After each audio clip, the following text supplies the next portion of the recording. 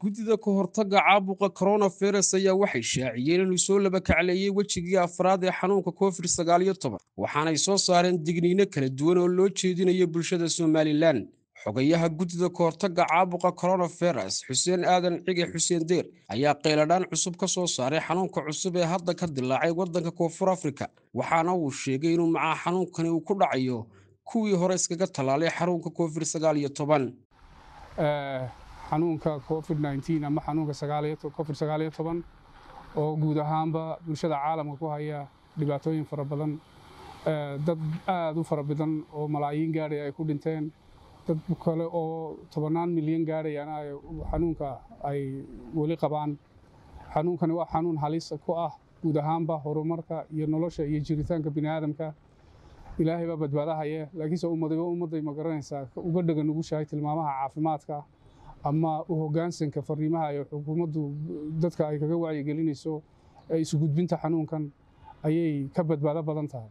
Ummaddeena jamhuuriyadda somalilan qaabkeenna nololeed iyo habdhaqankeenna ayaa wuxuu dhiirigelinayaa inuu xanuunkani uu si dhib yar inagu fido ama aynu u kala qaadno. Sababta noloshii guryahaada qof walba ma garanaysa qol gaara ma heli karo basaskii lama kala fogaan karo qofkii la yidhaha ma garanaysa shaqadaada gurigaaga ku shaqee suurtagal maaha xaaladaha duruufaha nololeed iyo kuwa dhaqaalaan suurtagelinayn.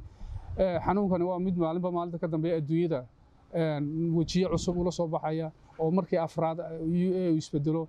Iminka afar iyo labaatankii bishan ku jirno maalintii arbacadii waddanka south africa waxaa laga helay nooc cusub oo isla xanuunkanuna oo ka duwan kuwii hore oo dadka magaranaysa xitaa tallaalan ee labada jeer tallaalan ku dhacaya ama iyagu laba qof oo tallaalan oo qofku labadii tallaalba u qaatay haddana way isku gudbin karaan.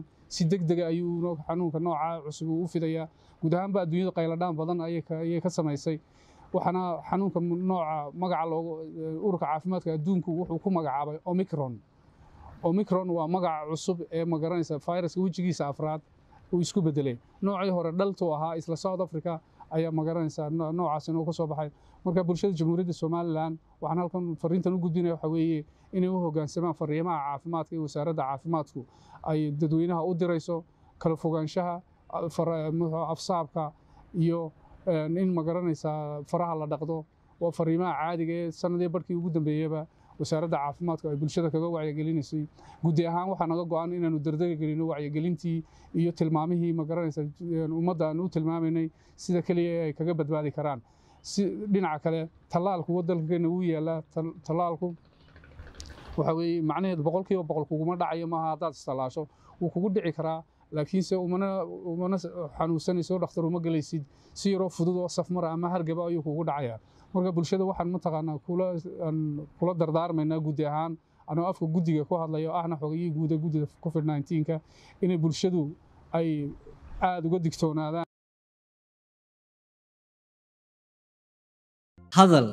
oo hadal oo hadal. oo ku hadal.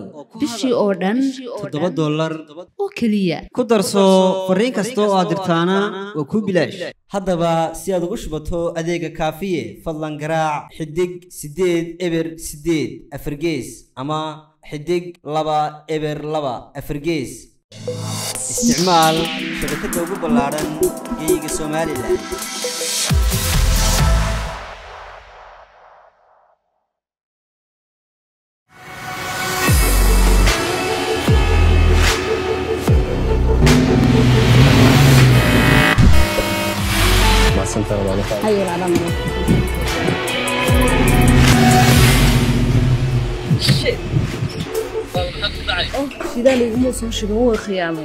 sidan kamaad oggolaateen kaalinta shidaalka ee aad maxmiilka u tahay ha ka oggolaan shirkadaha kale ee adeegyada bixiya u soo wareeg somtel